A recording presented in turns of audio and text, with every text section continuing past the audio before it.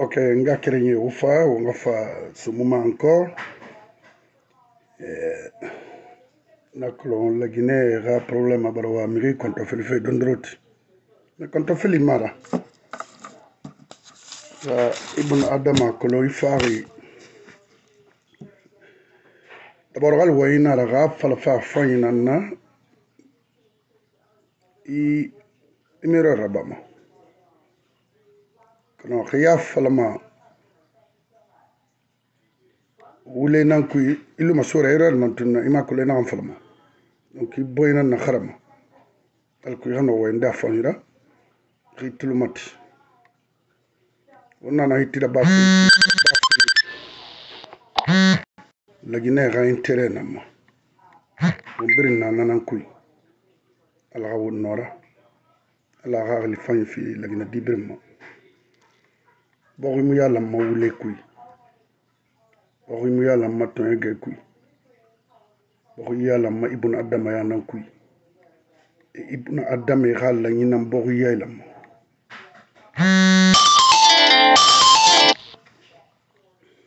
C'est clair. Inara Bama dit, faut manger, d'abord manger rouri mouna, akungwe mouna. na ngai ga walina ra go ngoma ana ga tulma tima fanyira parce mi kere mona maboko ira yara bi me bogo ina ki ande du goro kana ala asone ma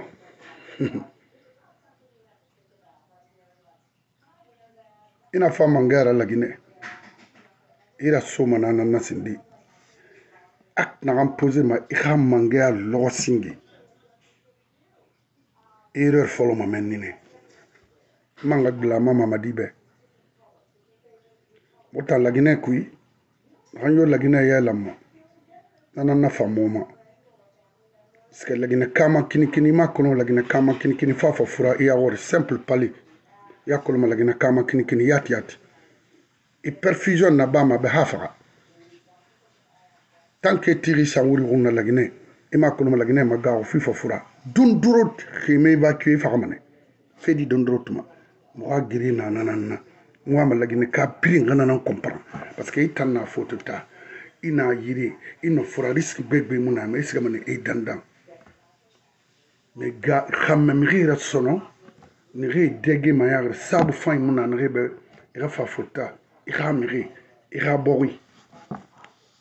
ce e wali na c'est c'est parce que millionnaire il finit c'est sera. tu vas mourir un jour très bien Maintenant, Dumbuya. Eh, Monsieur Bangoura, bonsoir. Bonjour. Alors, d'abord, la première des choses, coup d'État à Mangabila Mebe, c'était vraiment une bonne chose. La Guinée libérée 13 millions d'habitants, Nrena reine Nrena Fari, dictature Nana Moura violence, mɔgɔ économique Kana. et service public findi propriété privée là devant nous tous donc an fan na hara bana leri le politique na kina kan kan ga gbi fala mais muso mai bori ha gasi mais la critique avec les dénonciations, c'est permis. Partout, il dénoncer. Parce que chef, n'a mot critique acceptement, hein, mangemara. N'a mot dénonciation acceptement, mangemara. Parce que d'un a dénoncé, il devient violent. Il faut critiquer, on critique ça, ça existe partout.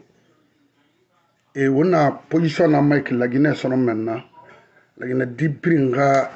asana leɲinama o nga critique na sogo ɲira e, mu violence ra ba ma kui ma i non di fala dirige bɛ migina ka i e fagari alpha conde tongo fe na mu wa me fure to fe parce que mu mu wa magara ba lo na ndangi 28 septembre ma parce que j'ai écouté un de nos frères là ça fait deux ou trois moments de cela, Parler de la force commune derrière l'aéroport, Moumoua a Wa ce mouïra. il a parce qu'après trois jours, Ibn Adam Barakana, Ayon, Moué Horira Tima, un Nana, Moué honoré et libéré parce ce que yittan inden de fayi bo ma xidira folo e dondor tuy lagina ke tuma yayne donc muwa maniro d'abord colonel flip magazuba BKG, ah, BKG ba, de, du camp Samori, bataillon quoi de camp Samori à, à Yakolo. Please. le colonel Magasuba BQG. a colonné Nadenre. Colonel Haribo, le médecin, à colonné Nadenre.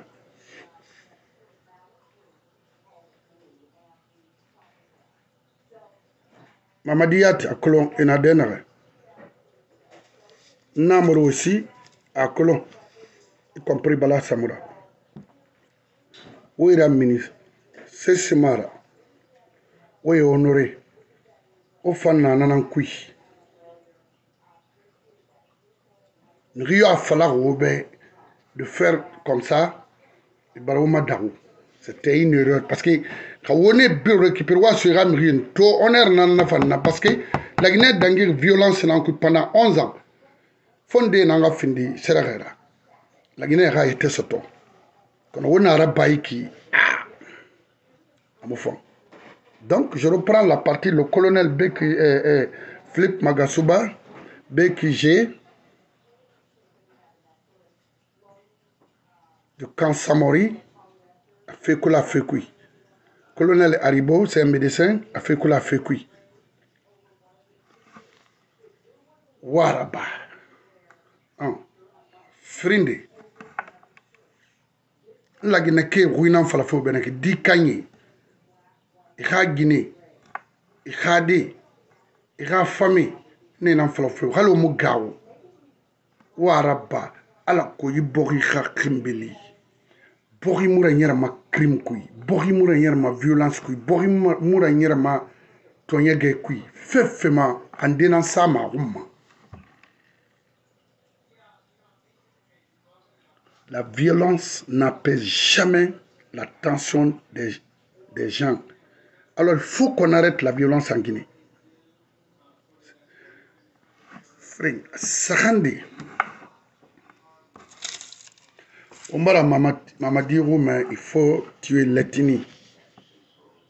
On a compris, c'est de bannir complètement l'ethnocentrisme et l'ethnostratégie comprendre afan yira mamadinara ba makina ga kolon pas de d'abord pas bara transition mu élection je transition na la ma parce que vous êtes là aujourd'hui à reprendre tout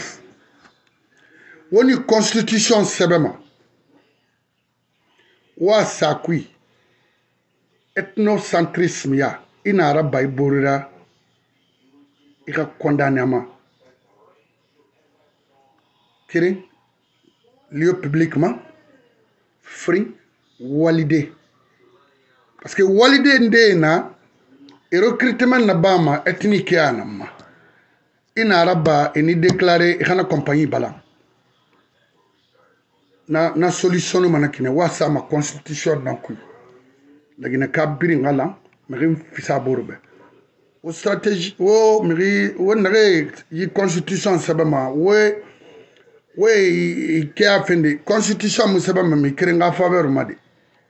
constitution sabama nyama boriga faveur na ma parce que moi n fɛn fɛn fala ma n ka exemple tɔgɔ ma bena ma aux états unis mo europe kolo n bena kolo walde afalafe mikibe ya ta africain itan fote tola balo ina ra be si mutan walma yire mu bara wal yire ba munu miri to na re na na fe modeli kui alo na endo inu e whatever na ne tambe kina talantuara kona mura bama ɓane hal fore dangina aga yego mama mima sono kono nawalde tammara donc awowama ethnostratégie o a bani fe en guinée wa sama constitution nan kui wona sa constitution kui d'abord a folo wo tan yatima parce que a tanna fe wona to wona même dans, les, dans la fonction publique même mina ke tungoma na ha ha manikena na na ha sosena na fulena na na ha siyo na agabari na tuntungoma no amra ba manaki itungoma na tanke gine donc na fan solution na naki kona mu fala matung no ya appliquer mana yat si me kerem frin sagan no nama, ma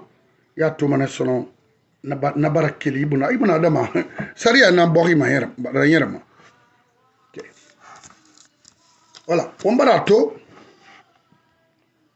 Fait Begbenadan fait Sarani, euh, domaine de l'État et, et récupérer fait, c'est une bonne chose. Mouwa mananango. Mouwa mananango ma. Abiri nga récupérer parce que galato morikanteya domaine na meni mangasa ira borinal.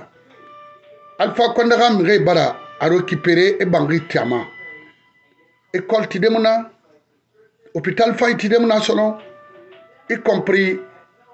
you know c'est trop kana ka waa fɔlɔ ma wo saa fɔlɔ lansana kɔntɛ parce que yi violence a modèle birin fɔlɔ na nalɛri nɛ yi parce que violence na yi fanna waa birin na sogo paakiri na naki mais wo ni gaara sugu de wo fan hani wo ka gɛi wo hani wa fa pouvoir ra sen na na wo wo fanga na déclarer parce que wo mu ara so ma wa finde wo gbera c'est pas possible non je te rappelle wo ma ara so ma wa finde wo gbera non CNRD c'est pourquoi mun na i ka cabinet présenté mora i ka gouvernement yo eh, eh, eh, bɛ a ka gouvernement se na neira moga kolo parce que on imrim femme be ga fait yarchi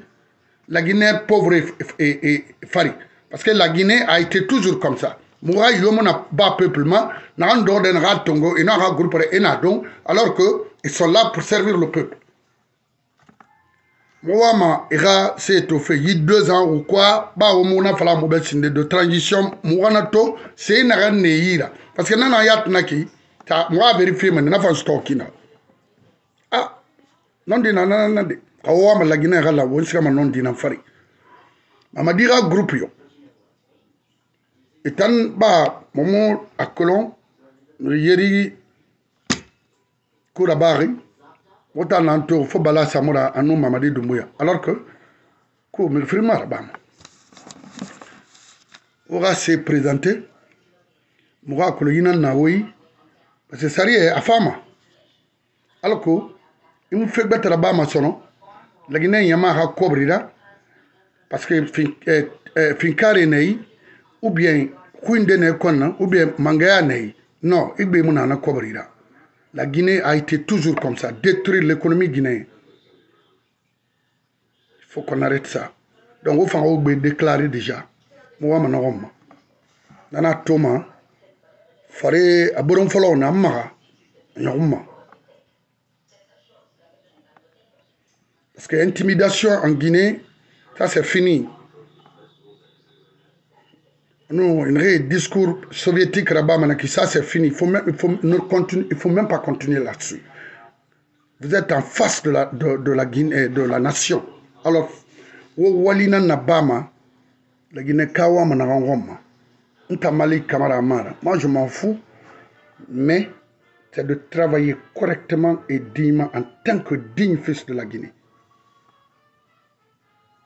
Alors parce que regardez le Sénégal, on a un frère, on vient de parler de lui.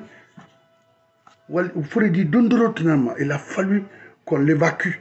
vers le Sénégal. Attention, l'eau. c'est ma Et autant.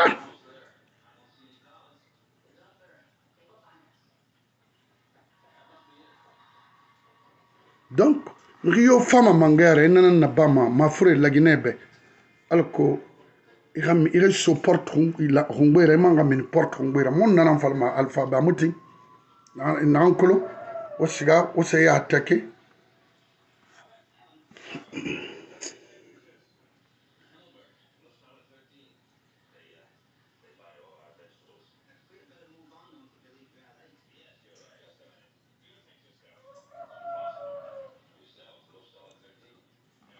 Donc, wunnom na nan falde womborbe quatre-vingt-dix jours nara wo ya tiwura wo fonctionne makinara kono wara ba nakide ara man fan to gbegbe nyalagangi nara na fera lagina ka nemuma lagina ka anemuma ta pour ka i bɔg i mu yailan fe lagina kan ne mu mane wondangel fe naga onze an kui ay bere ma dimba dinam be ha mu ne mu nara amura ba ma sono kono ha won ne mu nara a continue mane lagina fe fole nan fang an siga tagi an noy mu fang nan fera won ne mananan na won na de naga fe naga dangiri onze an kui justice nana ala masa skay fo ndira ndire esika esara ba kala limu wa mara ba fi ndire nde na sera ba parce que na tama war na mane mbara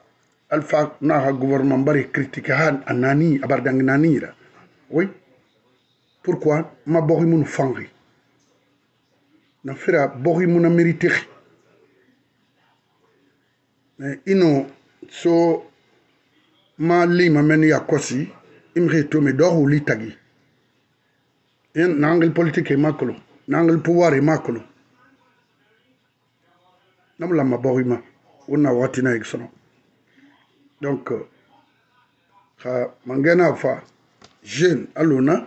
yara e bamana alu je ixa génération u i bore famali naxe fan fa fe mais nxin de e na be ko fi mo ne xeli me yi fe kui ana mu bɔn sɛrɛ ana mu ra gawo ba to di mi muna kolo mɛ mu ta ne kolo mu ma mu mi yɔ ili fala fe iye tɛ kolo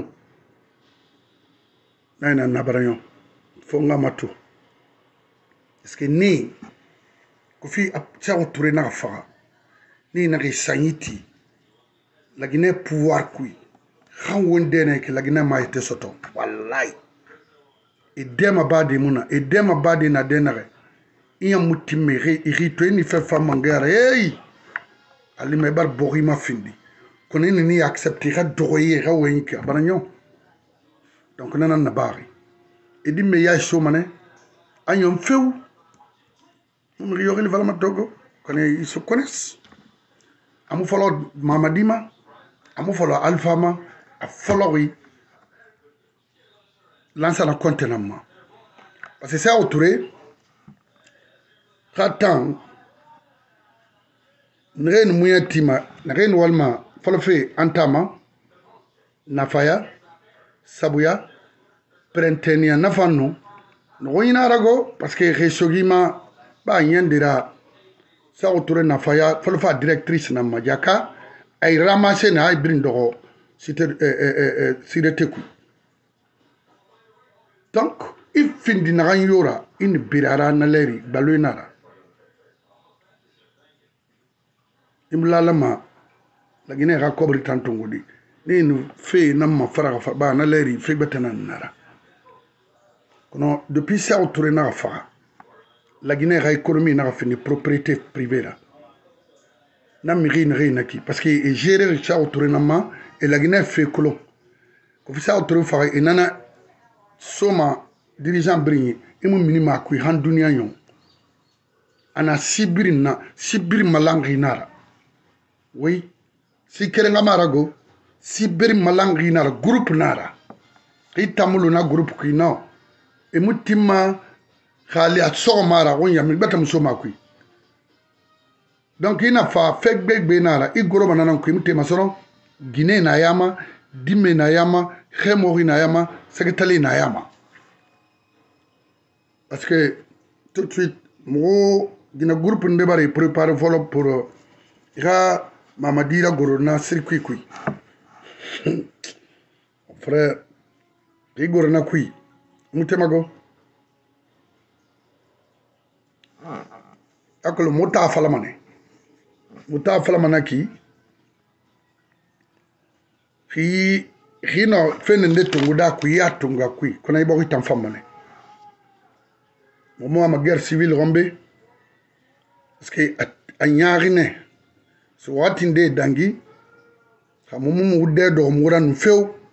guerre civile na bamane oye guerre civile na bamane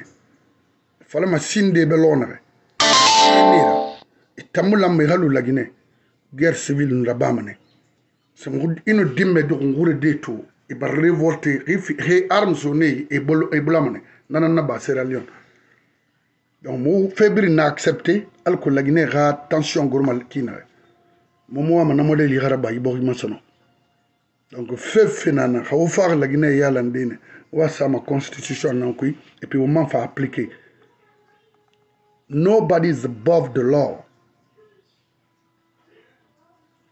na يومنا سريع فري سريع نلما نمارا هو يوار alors alors غاغ الفاين فيوما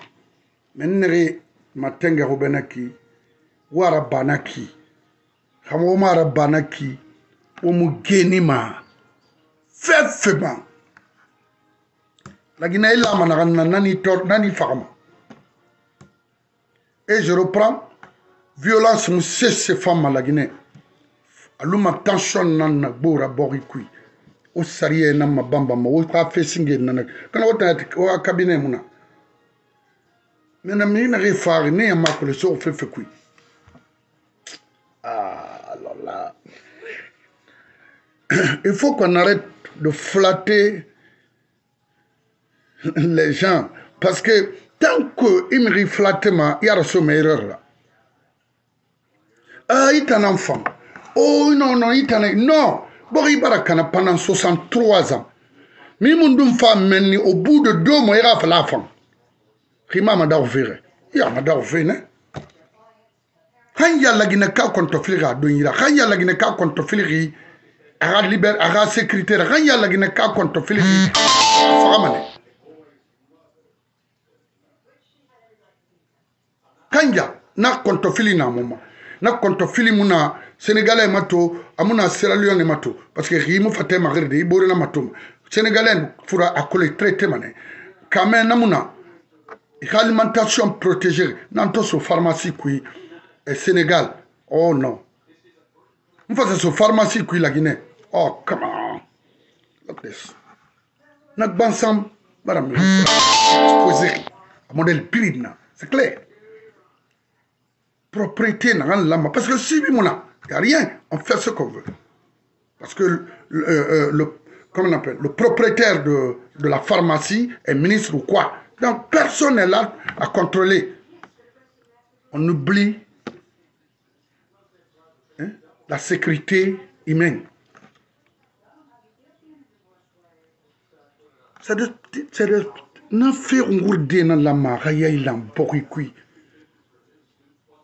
on parle de l'électricité, on parle des routes. Non. C'est bon, c'est une bonne chose. Mais en sécurité alimentaire. Où Ibn Adame, Jirina namuna. Donc, toi qui es là, un pauvre Guinéen qui cherche le quotidien chaque jour, tu tombes malade, mais c'est fini. Parce que, et y homme a chance de et la BSRA, i mena ma sans mm. i ga hôpital ga fait tongo en charge à, au sénégal mais tu vas mourir c'est de ça qu'on parle alors naga yo wa ma i bogo i ga fan i mu fa a kobri fende ge ala ga i tikira fan i go ma marigi ethnocentrisme ya muna naga kui feu mais i den de wa ma i bogo i ga gbilenga ala ga i ra tagan ala ka laginɛ hakɛ mini i ma muga wayina naki xiya mɛn awa xi ma mɛn mɛ i bɔgi tan fan ma xa ala ti